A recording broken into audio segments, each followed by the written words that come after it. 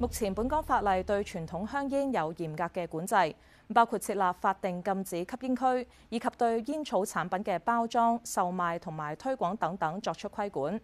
而由今個月三十號起，政府將會擴大條例嘅適用範圍，禁止進口、售賣同埋推廣另類吸煙產品，例如係電子煙、加熱煙等等。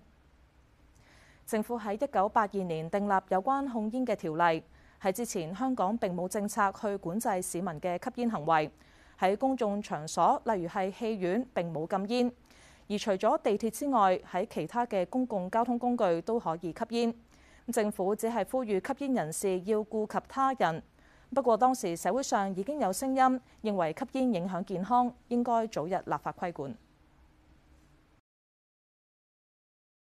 當你想食煙嘅時候，有冇先考慮到喺唔影響他人嘅情況之下先至食呢？因為喺人多同埋空氣冇咁流通嘅公眾場所食煙，不但係會騷擾到他人，更加係會影響到佢哋嘅健康嘅。醫學報告就指出，就算本身唔食煙，如果長期被逼吸入別人噴出嚟嘅煙霧，一樣係會對身體有害嘅。現時香港係冇法例禁止市民喺公眾場所食煙。政府所採取嘅政策係勸喻同埋教育，勸喻啲吸煙者要為他人着想，教育下一代係要遠離香煙。政府新聞處印製咗各種嘅海報同埋標貼，喺各種交通工具同埋公眾場所張貼。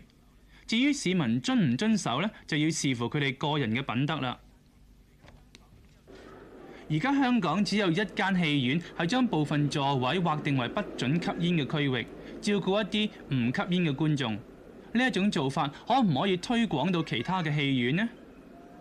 戲院商就認為頗為困難，因為每一間戲院坐落嘅區域同埋觀眾嘅階層都唔同，同時政府亦冇立例禁止吸煙，所以如果而家要啲戲院商自己中途咁推行，阻礙係會相當之大嘅。坐落喺銅鑼灣嘅嗰一間戲院，因為一開始就已經將座位劃分，並且票價係全港最貴嘅。情況呢係同一般嘅戲院唔同。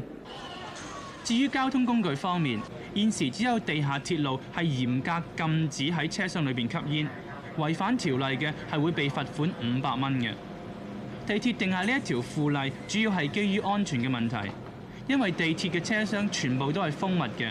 如果允許啲乘客食煙，一嚟係會減少車廂裏邊嘅氧氣，二嚟呢，如果一旦發生火警，搶救係會相當之困難。